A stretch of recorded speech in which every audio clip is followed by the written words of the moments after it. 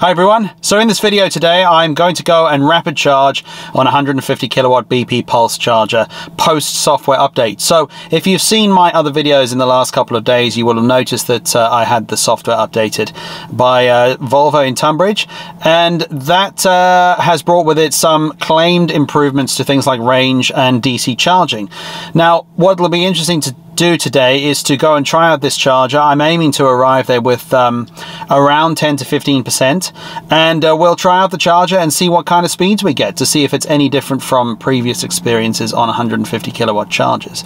Now I've done quite a few charges on these types. Um, I've used the BP Pulse quite a lot. Other than that I've used Shell, uh, GridServe, uh, Ionity, so I have quite a lot of historical data. Now, the big problem with the BP Pulse in Ashington is it doesn't show kilowatt charging on the display on the machine, and the car itself doesn't show that either. So we have to kind of work back based on the speed that we get in terms of miles per hour. But that'll be fine for this particular video today because we'll still get a good indication and I can compare that with some previous stuff. So we're going to head off now. It's a short drive down there. I'm going to do a little bit of yo-yo driving to try and warm up the battery a bit because what would typically happen is most people people would get to these kinds of chargers when they've been driving for a while. Uh, normally, you probably wouldn't aim to get up in the morning with a cold car and go and charge a rapid charge. You might do, but what I want to do is try and simulate what it would be like if you've been driving on the motorway for an hour or two but this is only 20 minutes away from me. So in order to try and warm the battery, I'll do a little bit of the yo-yo driving, which is accelerate, regen, accelerate, regen, just for a few minutes to try and warm it up a bit, and then we'll get charging and see what happens. Okay, let's go.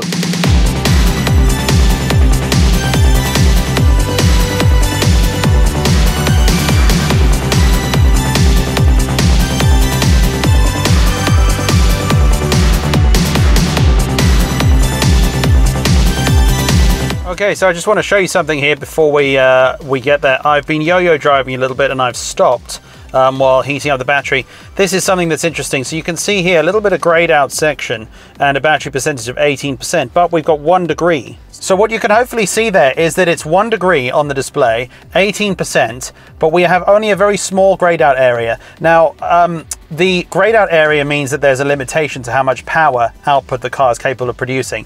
And this will start to happen when you get to lower battery percentages. But the two things are linked together, temperature and, and battery percentage. So you could find yourself getting into the car in the morning at 18% on a, a day like today where it's zero, one degree and actually have a lot of restriction in terms of your maximum power. Or you could do something like, like I've just been doing and that's warm the battery up properly and you have a less power limitation. Okay, so my idea of getting the battery nice and warm uh, might not have worked out. May have backfired a bit on me, but um, this is one of the things I really want to mention. Um, this is the problem with uh, the charging network. You can see here that uh, it is occupied by two Nissan Leafs at the moment. So um, yeah, this is the thing. I, I try and come to a charging system that has two chargers for exactly this reason because, uh, you know, if you go somewhere that has only one charger and it's occupied, you could be waiting for 40 minutes. Um, and at least this BP Pulse has two 175 kilowatt chargers, but uh, both occupied at the moment by Nissan Leafs. And it's kind of unfortunate because I was talking to one of the owners and he was just about to disconnect and he can't disconnect at the moment from the unit. It's stuck attached to the car. So he's talking to someone who works here as well as uh, talking to customer services on the phone. Um, this isn't something I've had happen to me personally, but uh, I did a quick Google search and yeah, it does seem to occur. Some people have, I'm not saying it's a particular network issue or a car issue, but that is frustrating. I mean, it's probably taken about 10 minutes. I think he might have just got disconnected, but 10 minutes of fiddling around trying to get his Leaf disconnected from the charger. But yeah, so the battery's not going to be as warm as I'd hoped, but yeah, it is what it is. We'll just see what happens. This is a real world test. This is not set up. Uh, this is not a science lab. So we'll get connected as soon as we can and get charging.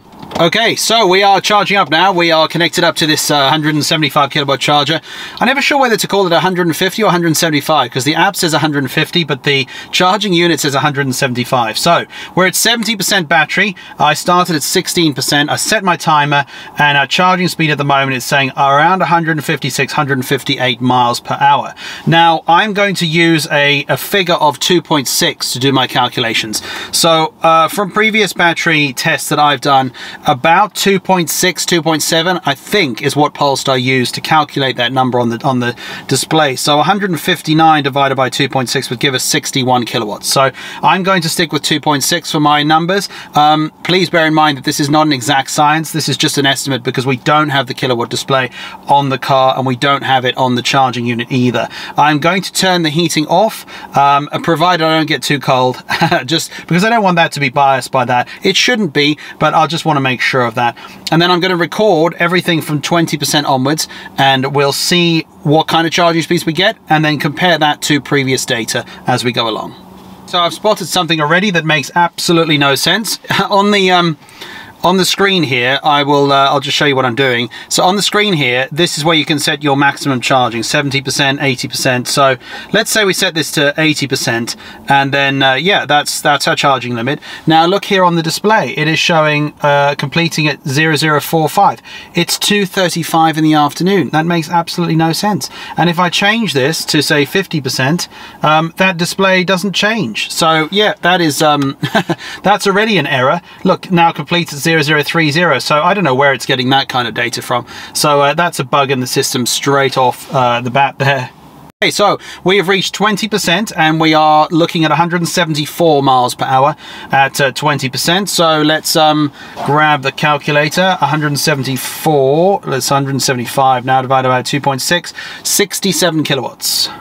So we're just approaching 40% now, just on 39, and charging speed's gone up again to 252, which again works out as about 96 kilowatts. But please, as I said earlier, that's not an exact number. Um, that is just an estimate. And what we'll do at the end of this test is we'll have a look on the uh, the charging unit at how many uh, how much juice, how many kilowatt hours were delivered to the car, and then we can work out over time the average charging, which to be honest is actually more useful because most people are going to be um, thinking more about the average times taken to charge. So say you arrive at a charge with 10, 20%, something like that, you're really probably more interested in how long it takes to get to 80% because 80% is where it really drops off and slows down. That average speed is more useful than the peak number because yeah, I mean, Polestar might be able to peak at 150 kilowatts in optimal conditions in the summer when it's warm, but if the peak is only for like two or 3% of the battery, that's not really that important. What is more important is probably the average charging speed over the curve. So uh, yeah, let's see what happens um, once, and we'll figure that out at the end. Okay, so that uh, was kind of exciting. Well, in fact, it's got even better than that. We're uh, showing a charging speed of 290 now. I saw 275 and I got excited. I thought that was a good thing. But uh, 290 now, so um, I, I need to just film the, the screen so I can actually show and prove that to you. Yeah, 290 at 47%. So 290 works out as, uh, let's just calculate that, divided by 2.6, 111. So considering the temperature, it's three degrees outside and I lost lost most of the heating element that uh, the preheating that I did from the yo-yoing, I think, because I was, there we are, peaked at 300, even better. Um, so actually, I think uh, I'm really impressed with how it's going so far. Yeah, there's 300 again as we approach 50%. Okay, so I just got out to have a look and uh, I took a picture of the display. So 16 minutes, we've had 22.138 kilowatt hours delivered, which uh, say you do 72.5 ki uh, kilowatt hours as the total usable battery, divided by 22, that's um, 3.2. So that's about a third of the battery. That's just short of a third of the battery delivered in 16 minutes. Um, and what that works out to is we can work that out by going with uh, 22.35 divided by 16 and then times that by 60 we get an average of 83.8 so that's 83.8 kilowatts is the average charging from uh, what did I stop at? 16% up to um, up to the 50% mark. So yeah, that's just interesting to see that amount as we uh, go along. Now what has happened now is it has dropped down a lot, 53%, and it's dropped to a charging speed of 222 miles per hour. So 222 divided by 2.6 is just 85. So quite a big change, and it was it happened really quickly, like 48, 49%. It was up at 300 miles per hour, and then it's like it just um, I don't know I don't know how it how it's working out what it's doing, but we're showing 420 volts there, but it just kind of dropped off um, all of a sudden, almost instantaneously. Okay, so we've reached 60% now and uh, charging speed is hovering around 182, 100, 83 miles per hour, which is 70 kilowatts. Um, something I have noticed while I'm watching this is that there's, there's definitely not something right on my display. I mean, obviously the completing at midnight 15 is wrong. Um, that doesn't make any sense. But it also sticks a little bit. Like I can look back on the on the charging unit and uh, that said 60%, whereas this still said 57, and then suddenly it jumped up to 60%. So there's something not quite right with the way the sort of the display sticks and then it like it catches up. Um, and then it seems fine and it ticks along and then it sticks and then jumps ahead. So I don't know if that's specific to my car, but this is something I'll definitely mention to uh, to Polestar and uh, you know see if that's something that they they get feedback from other vehicles as well. So we've reached 75% now and the charging speeds gradually tapered off down to 137 miles per hour, which is about 53 kilowatts. So yeah, just a few percent to go till we reach 80%, and then we'll total it all up and see what the average charging speed was for the whole of this charge. So at some point it looks like it uh, fixed its uh, completion time. So now it says completes at 1527, which is in about five minutes. 78% and it rarely drops off now. So like it's showing just uh, 97 miles, which is about 37 kilowatts. Uh, that it rarely reduced in speed at about 77%. Uh, We're almost at 80%. Not not far to go, but uh, yeah, to be honest, it's it's kind of painful waiting those last few minutes really when when it gets this slow. Okay, so we've reached 80% battery level now, and uh, that basically, yeah, that took 40 minutes. So I I didn't mention this earlier, but I, I started on that charger over there and I, I charged for a few percent, but then um, this one became av available. And uh, I've charged on that one before and I wasn't 100% sure last time when I did a charging video if it was working correctly because that's something you don't always know. So um, I thought I would swap over onto this one, which um, was the one that I used for some of my previous tests. And uh, yeah, just charge on this. But basically that means that this test is, is from 20% up to 80% in the Polestar 2 and it took 40 minutes. So uh, yeah, that's not too bad, really. The average in terms of kilowatts, we got 46.7 kilowatt hours, which gives us uh, 70 kilowatt charging average there for this car today. And I mean, that's that doesn't sound that great but if if we look back at the data and i will put the graph here on the screen for you to see we peaked at um we peaked at 48%, so close to 50%, where we hit 300 miles per hour, which is 115 kilowatts. Now, that to be honest, is actually possibly the best I've seen from this car. So going back on some of my older data, when I charged at GridServe, um, that again, the, the, their fast charges there, I got 274 miles per hour, and a previous BP Pulse charge here, I got 252. So I think the only one that I got that kind of speed may have been Ionity at one point. Um, but it wasn't anywhere near as cold. Today was by far the coldest. I mean, it's two degrees now. I got here and it was sort of three or four degrees.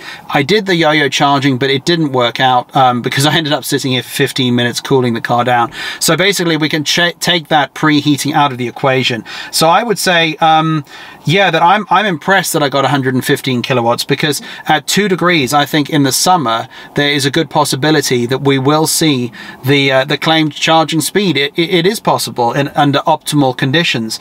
And an average of 70 kilowatts for the entire charge, um, I don't really think that's actually that bad. What will be interesting now will be to see what I get with the Tesla Model 3 because I've managed to, to, reserve one for next weekend and I'm looking forward to having three days of driving that uh, and, and it's going to be interesting to see what I can get from that now my plan is to come back here to this exact same charger and uh, use it here not just on the Tesla supercharger because most people, of course, are going to be using that, but just to compare like for like to see what the average charging speed is um, with the Tesla compared to the Polestar. So yeah, you know, I will um, I will show, I'll put some of the data on the screen here just at the end of the video so you can see the graph, but this by far was the most successful and fastest charging that I've achieved so far with the highest peak um, of 115 kilowatts estimated.